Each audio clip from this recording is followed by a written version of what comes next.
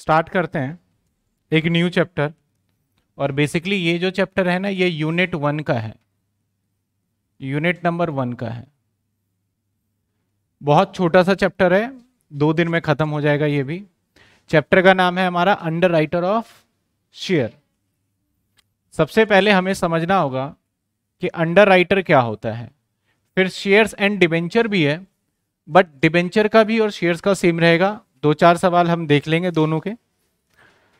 सबसे पहला वर्ड और माइंड में जो क्वेश्चन होता है, कि sir what is the underwriter what is the underwriter समझिएगा अंडर राइटर आपने बहुत पहले, ज़्यादा पहले भी नहीं ट्वेल्थ क्लास में आपने शेयर कैपिटल चैप्टर पढ़ा है। और इनफैक्ट अभी भी पढ़ा है आपने। इसी शेयर कैपिटल को हम इश्यू ऑफ़ शेयर्स भी कहते हैं, है ना? इश्यू ऑफ़ शेयर्स और इसके अंदर ना कंपनी क्या करती थी? कंपनी अपना शेयर इशू किया करती थी। किसको इशू किया करती थी ये शेयर जैसे कि कंपनी ने डिसाइड किया कि हम एक लाख शेयर बेचेंगे। हमने डिसाइड किया कि कितने शेयर इशू करेंगे हम? एक लाख। और ये एक लाख शेयर किसको सोल्ड करने जा रही थी ये? सर अलग अलग पब्लिक को बेचा करती थी। और जिसको हम क्या बोला करते थे? सर, जिसको हम बोला करते थे शेयर होल्डर लेकिन यहाँ पे याद होगा कि एक प्रॉब्लम था। यहाँ पे याद होगा कि एक डर था। और एक रूल बताया करता था, हमारा लॉ क्या कहता है कि अगर आप शेयर्स बेच रहे हैं तो बेचिए, हमें कोई दिक्कत नहीं है। लेकिन एक बात का खासा ध्यान रखना होगा कि आपको आपकी कंपनी के कम से कम 90 प्रतिशत शेयर्स बेचने होंगे। याद है कुछ? आपको कितने बेचने पड़ेंगे? 90 प्रतिशत। अगर आपने 90 प्रतिशत तक शेयर्स नहीं बेच पाए तो उस सिचुएशन में आपको जो पैसा भी आपको शेयर होल्डर ने दिया है, उन सभी के पैसे वापस करने होंगे। यानी अगर इन सभी शेयर होल्डर ने मिलके मेरी कंपनी के सत्तर हज़ार शेयर को सब्सक्राइब कर लिया तो क्या मैं अपने कंपनी का शेयर्स को इशू कर सकता हूँ? तो जवाब नो क्योंकि कितने बिके हैं? सत्तर हज़ार। सेम दूसरे साइड बात करूँ कि अगर मैं अस्सी हज़ार भी अगर ये सारे शेयर होल्डर मिलकर सब्सक्राइब कर लें तो क्या मैं कंपनी को शेयर कंपनी क्या शेयर होल्डर को शेयर दे सकता है? जवाब नहीं। अगर मान लेते हैं, मैं नब्बे हज़ार शेयर इशू कर दूँ मतलब नब्बे हज़ार इन लोगों ने शेयर खरीद लिया तो क्या हम अपने शेयर दे सकते हैं इनको? बिल्कुल, क्योंकि मिनिमम क्राइटेरिया क्या है? तो 90 परसेंट, यानी जो भी कंपनी रही होगी एक्स वाई जेड तो इसके मन में डर तो होता होगा। डर किस बात का होता होगा कि यार, अगर 90 परसेंट हमारे शेयर्स नहीं बिके तो जितने हमने खर्चे किए हैं प्रोस्पेक्टस में, इतना सारा हमने एडवर्टीजमेंट किया है, ये सब बर्बाद हो जाना है। क्योंकि आपको मैंने बोला, भैया, आपको शेयर्स बेचने हैं। और जब आप शेयर्स बेचने जाएँगे और आपको ये बात पता चले कि आपने इतनी मेहनत करी, सारे काम करे और लास्ट में अंत में पता चला, यार, वो हमारा जो काम था ना, वो सक्सेस नहीं हो पाया। तो आपको दुख तो होगा ही। और डर भी रहेगा कि ये चीज़ होना चाहिए। तो ये 90 परसेंट वाला जो इन दोनों के बीच में था ना, ये बड़ी टेंशन थी। इससे बड़ी बड़ी कंपनी तो शेयर इशू कर देती थी, उनकी तो बिकी जाने हैं, जैसे रिलायंस हो गया, आपका, या फिर टाटा हो गया, या फिर आपका और भी विप्रो कंपनी है टीसीएस है। ये सारी कंपनी, ऐसे कंपनी है जो कि अपने शेयर्स को तो बेचेगी तो झट से बिक जाएगा, क्योंकि इसके पहले से लॉयल कस्टमर है। लॉयल शेयर होल्डर हैं। लेकिन नई कंपनी है, आज मैं अपनी कंपनी का शेयर मैं बेचने जाऊँ सपोज़ करो, मैं अपना एस लिमिटेड एक कंपनी बना लेता हूँ और मैं भी चाहता हूँ कि मैं भी शेयर्स को बेचूं और शेयर्स बेच के मैं कुछ पैसा इकट्ठा करूँ, जिससे मैं अपना सारा का सारा टेक्नोलॉजी बहुत अच्छे लेवल पे लेके जाऊँ और आपको और बेटर एक्सपीरियंस मिल पाए। तो मैं भी चाहता हूँ पैसे की ज़रूरत है मुझे तो मैं शेयर बेचूँगा। मैं बेचने जाऊँगा तो मुझे कितने लोग जानते होंगे? बहुत कम लोग जानते हैं। तो अगर मैं बहुत कम लोगों को बेच पाया, एक लाख शेयर बेचने गया, पता चला भाई बीस हज़ार ही शेयर बिके तो फिर तो मैं तो नाकामयाब हो गया। तो सबसे पहले आप इस मतलब इस पेन को समझिए, इस प्रॉब्लम को समझिए कि कंपनी जब शेयर इशू करने निकलती है तो उसके सामने सबसे बिगेस्ट चैलेंज और बिगेस्ट प्रॉब्लम होता है कि उसके शेयर बिक जाने चाहिए। कितने बिक जाने चाहिए? 90 परसेंट। अगर 90 परसेंट नहीं बिका तो उसको इसके सारे पैसे वापसी करने पड़ेंगे, आपकी सारी मेहनत खराब हो जाएगी। इसी 90 परसेंट को डर को हटाने के लिए कुछ हमने बहुत बड़े बड़े व्यापारी ठेकेदार को लेके आए। बहुत बड़े बड़े ठेकेदार होते हैं। और जनरली ये जो ठेकेदार होते हैं ना, इनके पास इतना पैसा होता है, ढेर सारा पैसा होता है, खूब पैसा होता है इनके पास। इनके पास पैसा ही पैसा होता है। और बेसिकली ये होते हैं, पता है कौन है? सच्चाई बताऊँ तो ये होते हैं हमारे बैंक। और इसका सबसे बड़ा काम कौन करता है? स्टैंडर्ड चार्टेड बैंक का नाम है। वो ज़्यादातर ये काम करता है। सारे बैंक करते हैं वैसे तो। वो पता है क्या करते हैं? बैंकर का कमाई क्या है? बैंकर का कमाई है, ब्याज का, कमीशन का, यही तो होता है। वो सीधा क्या करेगी? मेरे और इस के बीच में एक कम्युनिकेशन हो जाएगा। मेरे और इसके बीच में कम्युनिकेशन हो जाएगा। मैं बोलूँगा, भैया, मैं अपनी कंपनी के कितने शेयर्स बेचने जा रहा हूँ? एक लाख। इसने बोला कि ठीक है भाई साहब, मैं जो है आपकी कंपनी के शेयर्स को बिकवा दूँगा। बिकवाने का इसने प्रॉमिस कर लिया कि मैं शिक्षा धाम के शेयर्स को इन लोगों ने बिकवाने का वचन दे दिया, मैं बिकवा दूँगा। मैंने कहा, भाई, तू बिकवा देगा। अगर नहीं बिके तो मेरी तो सारी मेहनत खराब होगी। बोला, अगर नहीं बिका तो मैं खरीद लूँगा। हमारे पास इतना पैसा है ना, मैं आपकी कंपनी के सारे शेयर खरीद सकता हूँ। यानी एक तरीके से इसने ठेका ले लिया। ठेकेदारी होती है ना, कि ये काम मैं आपका करवा दूँगा। आप कैसे करवाना, नहीं करवाना, वो मेरी टेंशन है, आप क्यों ले रहे हैं? तो भाई जब ये मेरे लिए इतना कर रहा है तो इसका कुछ ना कुछ तो लालच होगा। कुछ ना कुछ तो लालच होगा इसका। क्या लालच होगा बताओ? इसको चाहिए होगा यहाँ पे, सर, क्या चाहिए होगा इसको? इसको चाहिए होगा यहाँ पे कमीशन। इसको क्या चाहिए होगा? कमीशन ध्यान से देखिए, मैंने अपने शेयर्स बेचने का ठान लिया है कि मैं बेच दूँगा। मैं बेचना चाहता हूँ। और मेरे शेयर्स को बिकवाने के लिए कौन आ गया? ये कुछ तीन बड़े बड़े बहुत पैसे वाले लोग आ गए। और बदले में ये मेरे से क्या मांग रहे हैं? कमीशन मांग रहे हैं। मैंने क्या करा? अपना सारा शेयर्स जितना भी शेयर्स था मेरे पास जितने भी शेयर्स थे, सारे शेयर्स उठाए और मैंने बोला, ले भाई, तूने अगर प्रॉमिस किया है तो ये ले, तू शेयर्स बिकवा दे। सारे शेयर्स इसको दे दिए। अब इनके जानकार बड़े तगड़े होते हैं।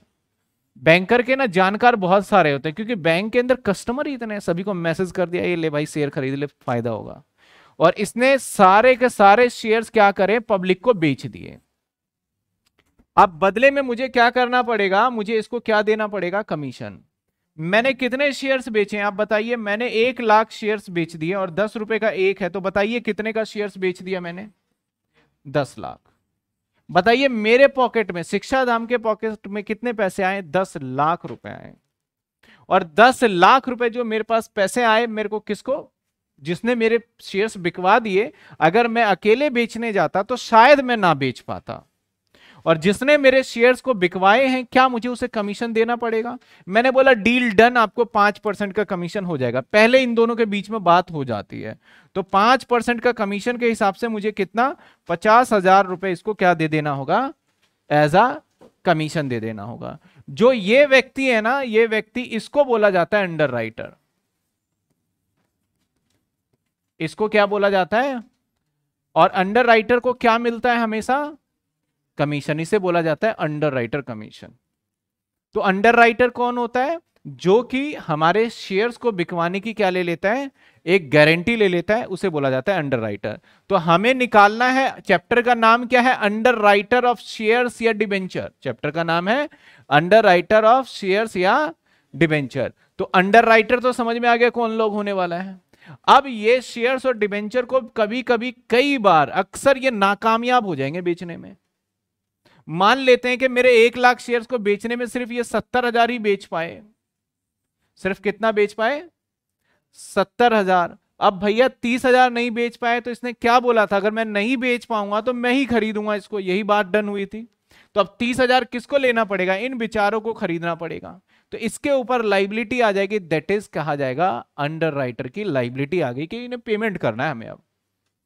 ठीक है? चाहे कमीशन काट करके करे, चाहे जैसे भी करे। तो और भी हम इसको और भी डिटेल में समझते हैं। तो सबसे पहले अभी तक हम क्या समझ पाए इतने सारे पॉइंट में कि अंडर कौन होता है और अंडर कमीशन क्या होता है।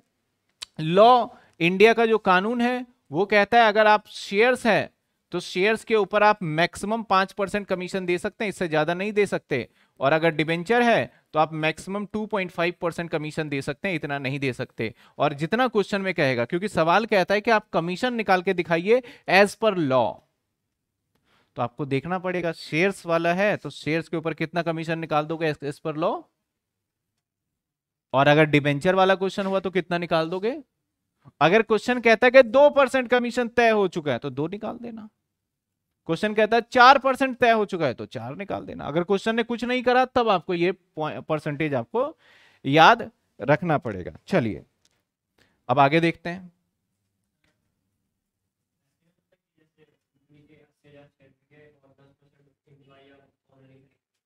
ऑलरेडी एम्प्लॉय हाँ। तो खरीद ले तो कंपनी का तो मेन पर्पस बेचना है। अगर कंपनी का बिक गया नब्बे हज़ार तो चलेगा कंपनी ऐसा नहीं है कि बाहर वाला ही है। कोई भी खरीदे बस ये। बिकने चाहिए शेयर चाहे वो अपने आस पड़ोस में बेच दे, घर में बेच दे। चलिए सर, अब इसमें कुछ एक वर्ड होता है जिसको आपको समझना और अगर बेसिक बेसिक टर्म्स पता चल गया क्वेश्चन देखना अभी तीन चार क्वेश्चन हो जाएगा चैप्टर नाइनटी परसेंट खत्म भी हो जाएगा। जैसे मान लीजिए, मैं एस के डी शिक्षा धाम लिमिटेड ने डिसाइड किया। शिक्षा धाम लिमिटेड ने डिसाइड किया कि क्या करेगा। इसने इशू किए हैं शेयर इशू शेयर्स सर कितने शेयर इशू किए? अरे, दस लाख? इतना ज़्यादा तो नहीं करेंगे। एक लाख शेयर इशू किए हैं। अब एक लाख शेयर्स मुझे बेचना है और at the rate ten rupees each अब मेरे सामने चैलेंज है कि मुझे अपनी कंपनी के शेयर्स बेचने हैं। कितने शेयर्स बेचने हैं? एक लाख शेयर्स बेचने हैं और दस लाख, और दस रुपए का एक है। अब इस शेयर्स को बेचने की कोशिश किसकी रहेगी? एक तो मेरी तो हंड्रेड परसेंट रहेगी कि भाई जल्दी से जल्दी बिक जाए। और दूसरी कोशिश मैं किसी एक ठेकेदार को पकड़ लूँगा दैट इज़ अंडर को। मैंने बोला अंडर इधर आ जा। और अंडर राइटर मान लेते हैं मैंने अंडर राइटर चुना। अल, हर अंडर राइटर अलग अलग होता है। मैंने जो चुना मेरा अंडर राइटर है आईसीआईसीआई बैंक बैंक बैंक ने बोला मैं बिकवा दूँगा आप चिंता क्यों कर रहे हो? मेरे पास इतने क्लाइंट इतने कस्टमर है बिक जाएँगे मेरा कमीशन दे देना बस पाँच परसेंट। यानी इस एक लाख को बेचने के लिए मैं भी चाह रहा हूँ। और कौन चाह रहा है? बैंक भी चाह रहा है अंडर राइटर मतलब कि अंडर राइटर भी चाहता है कि बिक जाए। अब इस शेयर्स को बेचेंगे तो मैंने बोला, यार, तेरे बस की बात नहीं है आईसीआईसी बैंक और किसी को बुला ले, अपने एक दोस्त को तो लिया कम से कम। अगर तू नहीं बेच पाया और तू पता चला इंस्टॉलमेंट हो गया तो बोला, कोई बात नहीं, एक और मैं अपने फ्रेंड को बुला लेता हूँ एसबीआई को बुला लेता हूँ। एसबीआई भी क्या बन गया यहाँ पे? अंडर राइटर बन गया। ये दोनों कौन हो गए? सर, ये दोनों हो गए हमारे अंडर राइटर हो गए। ठीक है? अब बोला, भाई, तुम दोनों मिलके मेरे एक लाख शेयर बेचोगे तो पहले तो ये बताओ कि तू कितना बेचेगा और तू कितना बेचेगा? इसने बोला कि बराबर बराबर बेच देंगे हम दोनों। यानी इसने एक रिस्पॉन्सिबिलिटी ले लिया कि मैं बेच दूँगा, और इसने रिस्पॉन्सिबिलिटी ले लिया, मैं कितने बेच दूँगा? पचास। पचास पचास बेच दूँगा। तो जो ये अंडर राइटर रिस्पॉन्सिबिलिटी ले लेता है ना कि मैं इतने इतने बेचूँगा, इसको बोला जाता है ग्रॉस लाइबिलिटी अलग अलग पाँच पाँच, पचास पचास पे मिलेगा। इसके पचास हज़ार थे इंटू में पाँच लाख हो जाएँगे और पाँच लाख पे इसको, पाँच लाख पे इसको, जितने जो बेचेगा उसके ऊपर। और भाई, मैं भी बेचने के लिए फिराक में हूँ, मैं भी सोच रहा हूँ, यार ये दोनों अगर फैसिलिटी निकल गए, बीच में तो क्या होगा, फिर हम भी तो बेचें। अगर ये दोनों ने तो बहुत बड़ी बातें कर दी कि ऐसे कर देंगे, वैसे कर देंगे। मैं भी लगा रहूँगा, मैं भी अपने जानकार को बेचूँगा। हालाँकि ये बेच देते हैं। नहीं बेचेंगे तो भैया क्या, तुम्हें ही खरीदना पड़ेगा। यानी यहाँ पे मेरी एक टेंशन खत्म हो गई, वो वाली, कौन सी वाली? अब मुझे ये नहीं लगता कि 90 परसेंट बिकेंगे, नहीं बिकेंगे, ना बिके, तू ही खरीदेगा भाई। लॉ को तो मैं बोल दूँगा, मैंने बैंक को बेच दिया है। अब हुआ ये, जब बेचने गए, इन दोनों ने बहुत सारी बातें तो बहुत सारी की। टोटल शेयर जो बिक पाया ना, वो बिक पाया इन दोनों ने। इसने बेचा चालीस हज़ार शेयर और इसने बेचा तीस हज़ार शेयर यानी बातें बहुत करी इन्होंने।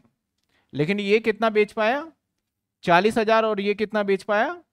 तीस हज़ार। इसको बोलते हैं मार्क्ड मार्क्ड एप्लीकेशन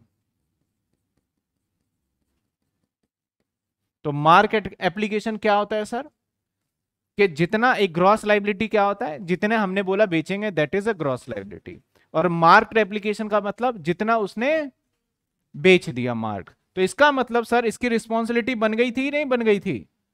देखा जाए तो अगर कायदे से देखो आप यहाँ पे मेरे इस सवाल में तो भैया तेरे को ना दस हज़ार और बेचने चाहिए थे, और तेरे को भी बीस हज़ार बेचने चाहिए थे, लेकिन तूने ये नहीं बेचे इन दोनों तो बेचा, कुछ ना कुछ ये एफर्ट कर रहा था तो ये एफर्ट करके इसने भी दस हज़ार बेच दिए। इसने कितने बेच दिए? दस हज़ार बेच दिए। यानी अगर इसने दस हज़ार बेच दिए तो ये जो कंपनी डायरेक्टली दस हज़ार बेच रहा है, इसका बेनिफिट भी इसी को दिया जाएगा। इसी को दिया जाएगा। किसको दिया जाएगा आपको? आईसीआईसी और एसबीआई को। तो इसका बेनिफिट मैं बोलूँगा, चल तूने जो अपनी मेहनत करी करी, मैंने भी मेहनत करी है तो तेरे को ही बेनिफिट दे देते हैं। तो दस हज़ार है तुम दोनों के रेशो में, जो तुम्हारी लाइबिलिटी का रेशो था ना, इसी रेशो के अंदर तुम्हारे ये तुम्हें फ़ायदा दे रहा हूँ, चलो। तो पाँच हज़ार तुम्हारे और कम कर रहे हैं लाइबिलिटी और तुम्हारे भी कितने लाइबिलिटी कम कर रहे हैं हम? पाँच हज़ार। दैट इज़ इस पाँच हज़ार को जो कि कंपनी ने बेचा, इसको बोलेंगे अनमार्क्ड अनमार्क्ड एप्लीकेशन समझ में आई बात? ये सारे वर्ड आएँगे क्वेश्चंस के बीच में। मार्क एप्लीकेशन अनमार्क तो आपको पता होना चाहिए। Mark application those application which are issued by या सोल्ड बाय द अंडर और अनमार्क्ड एप्लीकेशन कौन से होते हैं? जो कि किसने किए हैं? कंपनी ने किए। और अनमार्क का भी बेनिफिट इसको मिल जाएगा। और अनमार्क का जब बेनिफिट मिलेगा तो किस रेशो में मिलेगा? सेम जिस रेशो में इसकी ग्रॉस लाइबिलिटी रही थी। अब यहाँ पे देखा जाए तो पाँच हज़ार इसको और बेचने हैं और इसको पंद्रह हज़ार। अब तो कोई चारा बचता नहीं तो ये हो जाएगा इसका नेट लाइबिलिटी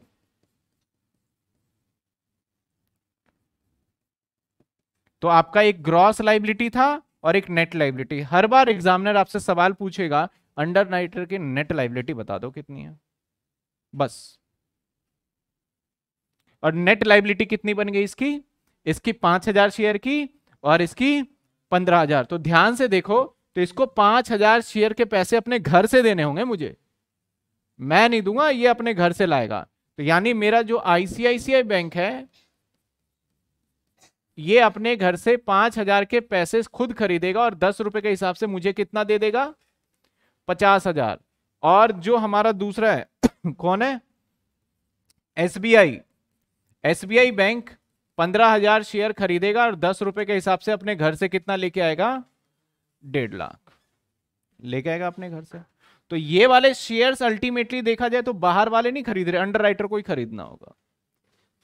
अब मैं कमीशन की बात करूँ तो कमीशन मैंने सपोज़ करो, हमारे बीच में मेरे डील डन हुआ है, मैंने लिखा डील नहीं लिखा तो डील दो परसेंट पे डन करके बैठा हूँ मैं तो।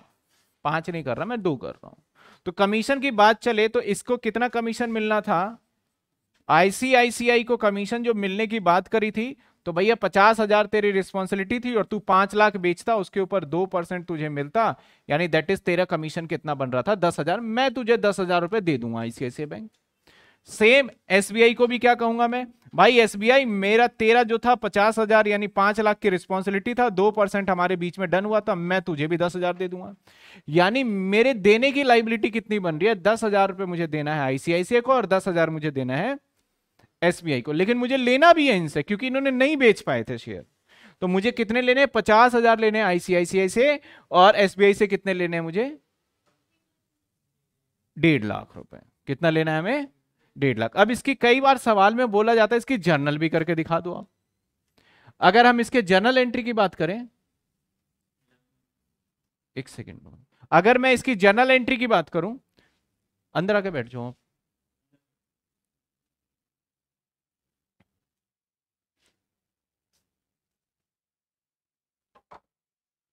अगर मैं जर्नल एंट्री की बात करूँ तो जर्नल एंट्री भी सर इसमें पूछ लेता है एग्जामिनर। ठीक है? अगर जर्नल एंट्री की बात करें तो जर्नल एंट्री कैसे करेंगे? दिमाग लगाते हैं, चलो।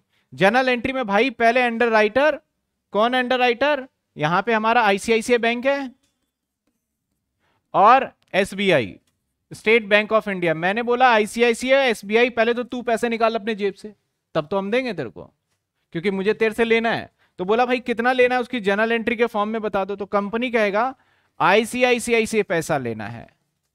एसबीआई से पैसा लेना है। और क्यों लेना है भैया? शेयर कैपिटल का पैसा लेना है। इससे कितने लेने थे? पचास हज़ार। और इससे कितने? टोटल कितना लेना है? दो लाख। मैंने बोला, ठीक है भाई। मैंने बोला, अब तो पैसा ला। तो अंडर भी बड़े चलाक होते हैं। ये अपना कमीशन काट के मुझे पैसा देंगे। इसको मुझे कमीशन कितना देना था? दस हज़ार इसको देना था और दस हज़ार इसको। तो मैंने बोला आईसीआईसी जा, घर से पचास हज़ार रुपए ला के दे मुझे। आईसीआईसी ने बोला था भाई, पचास तो देने थे, लेकिन दस मेरे कमीशन देगा तो सेटल करके एंट्री कर लेते हैं। तो अब एंट्री करेगा आईसीआईसी बैंक क्या करेगा? बैंक में मुझे पैसे दे देगा। बैंक अकाउंट डेबिट लेकिन कितने पैसे देगा? मात्र चालीस हज़ार। और टू कौन देगा? समझ में कितने देगा ये? चालीस। एक एंट्री बीच में मिसिंग रह गया, मैं उसको पहले कर देता हूँ। पहले कमीशन ड्यू कर दे इनकी। मैंने बोला, भैया अंडर राइटर कमीशन किस किस को देना है? आईसीआईसीआई को देना है? और किसको देना है? एसबीआई को देना है? आईसीआईसीआई को कितने कमीशन देने हैं, सर? दस हज़ार। और इसको कितने देने हैं? दस हज़ार। टोटल कितने कमीशन बन गए? बीस हज़ार। ये एंट्री किसकी है? सर इस एंट्री का मतलब क्या है? बींग मैं बाद में लिख दूँगा, दोबारा क्वेश्चन करूँगा। इस एंट्री का मतलब है कि तुमने इतने लाइबिलिटी थे और इस लाइबिलिटी को तुमने एक्वायर किया है, इतने पैसे तुमसे लूँगा। इस एंट्री का मतलब यह है कि तुम्हारे कमीशन इतने बन रहे मैं पेमेंट करूँगा, मैं पेमेंट करूँगा। समझ में आई बात अब? अब एक और नेट की एंट्री कर दे। अभी तक लेन देन हुआ नहीं है, सिर्फ़ बातें चल रही है। ना तो उसने मुझे पैसे दिए, ना तो मैंने उसको पैसे दिए। अब नेट में पेमेंट ले लेते हैं। अब आईसीआईसी बोलेगा, भाई, अब आ जाते हैं, पैसे लेने देने की बात कर लेते हैं। तो आईसीआईसीआई और एसबीआई दोनों पैसे देंगे तो मेरे बैंक खाते में पैसे आ जाएँगे। और कौन कौन देगा आईसीआईसीआई भी देगा और एसबीआई भी देगा। भाई आईसीआईसीआई तू कितने देगा? बोला, भाई, दस तो मेरे थे और यहाँ पे कितने बन रहे थे मेरा? कहा गया? पचास। तो मैं दे दूँगा तेरे को कितना? चालीस। और ये कितना दे देगा? और टोटल बैंक में कितने आ जाएँगे? यहाँ तक आपसे क्वेश्चन पूछा जाएगा, दस नंबर का क्वेश्चन आपके एग्ज़ाम में पूछा जाएगा ये। बस इसको एक फॉर्मेट के टर्म्स में हम क्या करेंगे? इंप्लीमेंट कर देंगे, एक फॉर्मेट के टर्म्स में। यहाँ तक समझ में आ रहा है? क्लियर है? तो अभी तक हमने क्या क्या देख लिया सर फटाफट क्विकली देख लेते हैं। What is the underwriter of share underwriter share क्या होता है? अंडर राइटर शेयर का मतलब होता है, हमारे शेयर्स जब 90 परसेंट से कम बिक पाते हैं, इस वजह से हम किसी एक ऐसे व्यक्ति को ले लेते हैं जो कि हमारे शेयर्स बिकवाने की रिस्पॉन्सिबिलिटी ले लेता है, उसको क्या बोलते हैं अंडर राइटर और जो रिस्पॉन्सिबिलिटी लेता है, उसको एक कमीशन दिया जाता है। अगर लॉ के हिसाब से चले, कुछ ना बोला जाए तो कमीशन फिक्स है शेयर पे पाँच और डिवेंचर पे ढाई परसेंट अदरवाइज़ जो इन दोनों के बीच में डील हो जाए, वो रहेगा। अब इस केस के अंदर जो शेयर्स अंडर मेरे वाले एग्जांपल में क्या था? दोनों अंडर यानी दो एग्ज़ाम्पल मैंने लिए, दो लोगों को मैंने ये ज़िम्मेदारी ली है। जो पर्सन ज़िम्मेदारी ले लेगा, उसको कितने कितने शेयर लेगा, ये खुद ही बोल देगा, मैं तेरे इतने बिकवा दूँगा, मैं तेरे इतने बिकवा दूँगा। तो उसे क्या बोला जाएगा? ग्रॉस लाइबिलिटी बोला जाएगा, ठीक है ना? ग्रॉस लाइबिलिटी के बाद ये जब बेच के आएँगे तो जितना ये बेच पाएँगे, उसको बोलेंगे मार्क्ड एप्लीकेशन और जितना कंपनी बेच के आएगा, खुद बेचेगा, अपने दम पे, उसे क्या बोलेंगे? अनमार्क इसके बाद माइनस प्लस करके देखेंगे, अगर अभी भी इसके शेयर्स कम पड़ रहे हैं बेचने के लिए तो उसे बोलेंगे नेट लाइबिलिटी ज़रूरी नहीं है कि हमेशा आएगा कई बार ज़ीरो भी हो सकता है। और कई बार माइनस में भी जाएगा, वो भी हम देखेंगे, ठीक है ना? इसकी जनरल एंट्री की बात करें तो पहली एंट्री क्या करेंगे भैया? जो लाइबिलिटी है, उसको ड्यू कर देंगे। आईसीआईसीआई एसबीआई मेरा एसेट्स हो गया, क्योंकि इससे पैसे लेने टू शेयर कैपिटल। इसके बाद अंडर राइटर मैंने लाइब्रेरी एसबीआई तेरे को मेरे को पैसे भी देने अंडर राइटर का। अगली एंट्री में मैंने नेट पेमेंट मंगा लिया। तीन ही एंट्री करना है इसके अंदर। चौथी एंट्री पीएनडल में ट्रांसफ़र करने की करना चाहते हो, कर सकते हो, बाकी तीन ही एंट्री है। यहाँ तक क्लियर है। जितने बच्चे भी लाइव है, फटाफट से बता दीजिए, यहाँ तक कोई डाउट है तो। यहाँ तक कोई डाउट है तो।